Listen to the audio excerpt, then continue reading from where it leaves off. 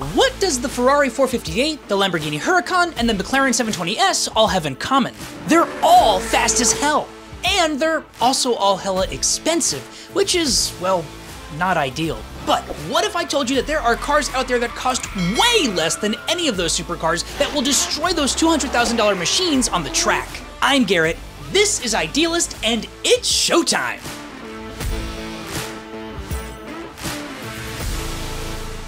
So, supercars. We're talking exotics, Lambos, Raris, you name it. They're all fast, but there's really no set standard for what makes a supercar, um, super which makes it hard to say what makes something faster than a supercar. So yes, while none of these cars are gonna gap a Bugatti, they're all really fast, like sub 4 second 0 to 60 fast, or destroys on track days fast. And most importantly, they are much, much cheaper. Because if there's one thing that everyone can agree on, it's that supercars come with super prices.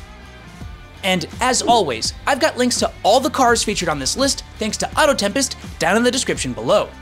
Let's get into it. BMW 335i. If you want a car that needs just a little bit of work to be supercar fast, the 335 is the ideal car to buy. First off, they're cheap. You can find them every day for like less than 10 grand. Like this one for 7500 bucks. And don't you worry about the 100,000 miles on the ticker because you want to ruin it anyway but in like a good way, like a totally awesome way.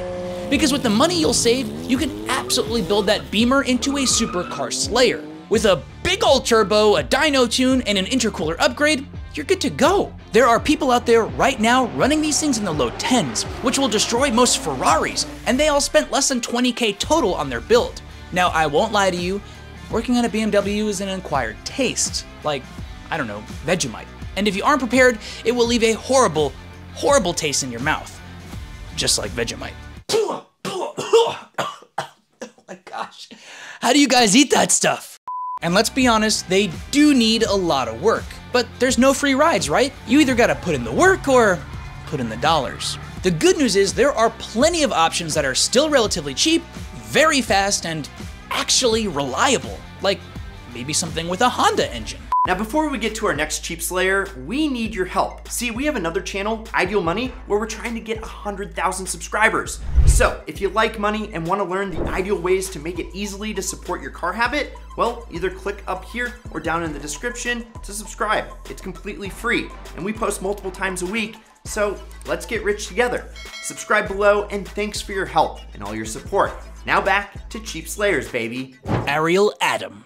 It's made by Ariel, not the Little Mermaid, and it's called the Atom, and it's a face-destroying adult go-kart.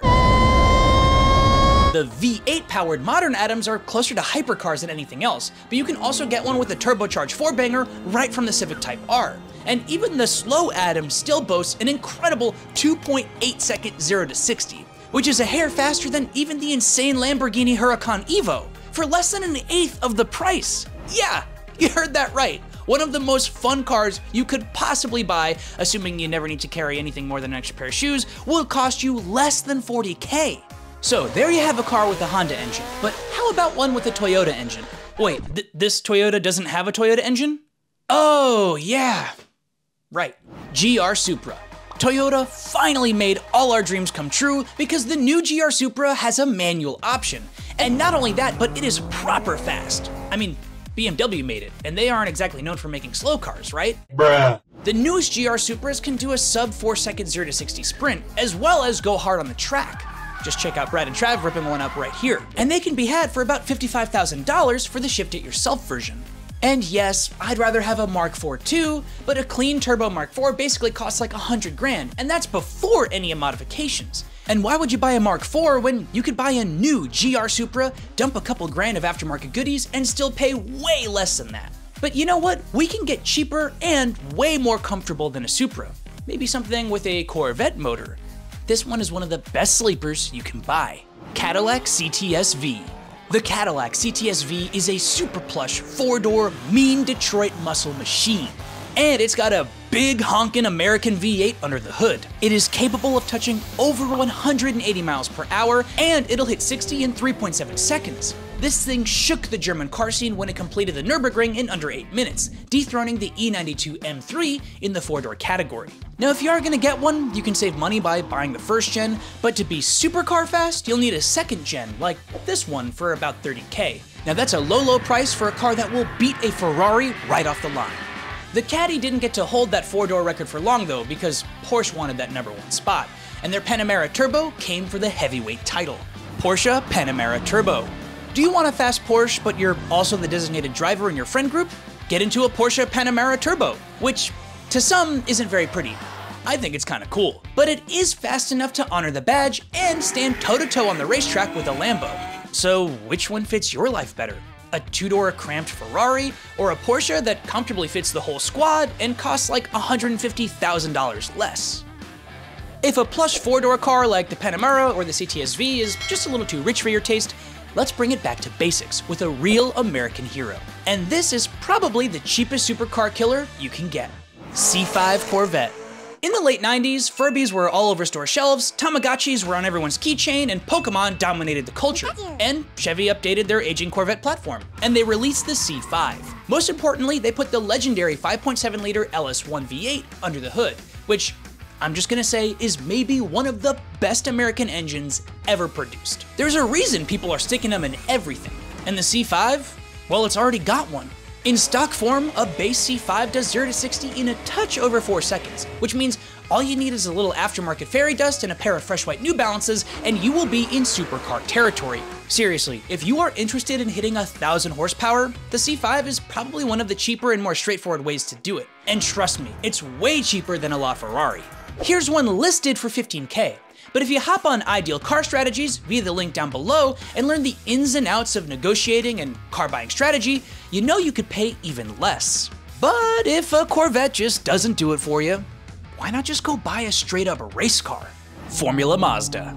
This entry is for those of you who actually want to put your money where your mouth is or for those of you who have been watching a little too much Drive to Survive. Now, there are a ton of options for buying a race car just to go fast. Even a slow race car could walk a bunch of supercars in the quarter mile, but if you want my advice, buy a Formula Mazda car. Straight up, it's one of the cheapest ways to experience Formula racing. And yeah, it's not quite like the junior Formula cars like Lando, Lewis, or Leclerc came up racing, but this thing still goes fast. And you're here to go fast, right? We're talking an open wheel racer with the legendary Mazda rotary Wankel engine in a car that weighs like maybe 1500 pounds. And it can go 0 to 60 in under 4 seconds, in addition to outcornering everything else on this list. Because, you know, it's a purpose-built race car and that's what it's meant to be good at. You can get into one for cheap too. Older Formula Mazdas start around 20k, or spend 35k when you're ready for a pro level car when you want to get competitive. But okay, okay, you got me. A, race car isn't super practical. You'd have to like trailer it out to the track or somehow make it street legal, and there's no room for luggage. So instead, why not get something that has four doors, every creature comfort you could want, and is one of the most stunningly gorgeous cars ever built? Alfa Romeo Giulia Quadrifoglio. Now I know we've been stretching the definition of cheap here, but if you want cheap and nothing else, just go get an Ariel Atom, or build out your own 335i. Those things are seriously sick. But if you want a gorgeous car that straddles the line between automobile and modern art, and that's also hella fast, grab an Alfa Romeo Giulia Quadrifoglio. Here's one for only 40 grand. Not only will this car turn more heads than pretty much any supercar, it straight up has a supercar twin turbo V6 under the hood, courtesy of Ferrari. And it crushed the ring with a time of seven and a half minutes. Now, it might be hard to understand just how fast that is without anything to compare it to, so Let's pick a really fast car like Zonda F. If the Zonda and the Alfa started at the Nürburgring at the same time, the Alfa would cross the line before the Zonda. That's how fast it is. Plus, a Zonda F will set you back like a million dollars. The Giulia is literally like 4% of that price. That's like a 96% off. Hell yeah. Well, there you have it. A list of supercar slayers. Which one do you want the most? Let me know down in the comments below. As for me, honestly, I really want that GR Supra. That B58 really is a modern 2J. This has been Ideal, and if this is your first time on the channel, why not give this video a like and subscribe to the channel so you can be the first to know when new videos like this one come out. And as long as you're here, why not give either of these videos a watch? As always, I'm Garrett, This is Idealist, and whatever sleeper you're slaying supercars in, just remember to keep on living that ideal lifestyle.